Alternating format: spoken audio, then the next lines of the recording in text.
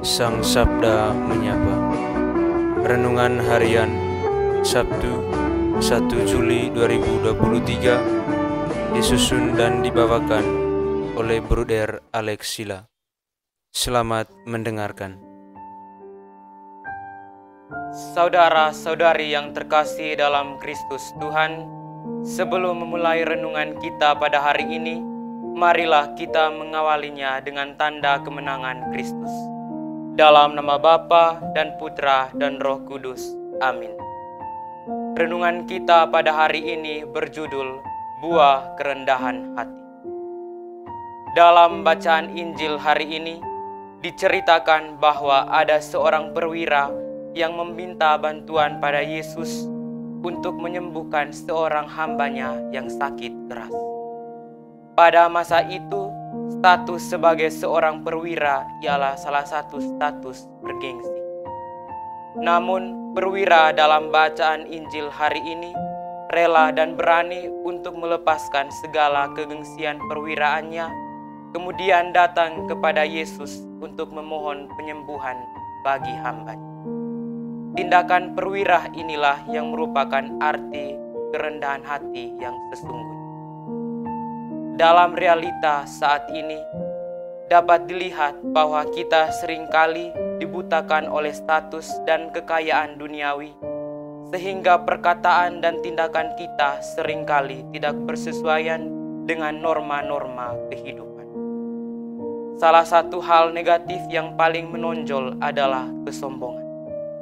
Ketika kita mempunyai kuasa ataupun kebolehan dalam berbuat sesuatu, maka tanpa sadar akan muncul kecenderungan kuasa untuk berbuat tak adil, berbuat semena-mena, dan sebagainya.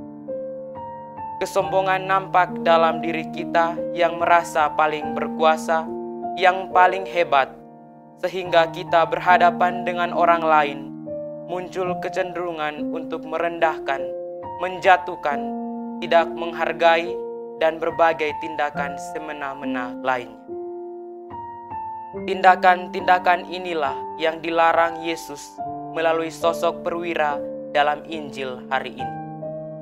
Yesus menghendaki agar kita dapat menjadi rendah hati seperti perwira itu, di mana kita disadarkan bahwa apa pun status kita, seberapa hebat pun kemampuan diri kita, kita tetap membutuhkan orang lain, termasuk orang-orang yang mungkin saja berada di bawah kita. Kesombongan pada dasarnya hanya akan membuat diri kita kesulitan dan kebingungan tatkala terjadi sesuatu. Oleh karena itu, di penghujung renungan hari ini, saya mengajak kita semua untuk meneladani kepribadian perwira dalam Injil hari ini, yakni menjadi pribadi yang rendah hati. Rendah hati tanpa paksaan, tanpa ada batasan sosial, kekuasaan, atau lain sebagainya. Dengan rendah hati, kita dapat memperkaya hidup dengan kebahagiaan serta meminimalisir kecenderungan untuk berpikir dan bertindak negatif, terkhususnya perihal tinggi hati atau kesombongan. Sebab pada dasarnya kesombongan akan bertukuk lutut di bawah pohon kerendahan hati. Amin. Kemuliaan kepada Bapa dan Putra dan Roh Kudus, seperti pada permulaan, sekarang, selalu, dan sepanjang segala abad. Amin. Dalam nama Bapa dan Putra dan Roh Kudus. Amin.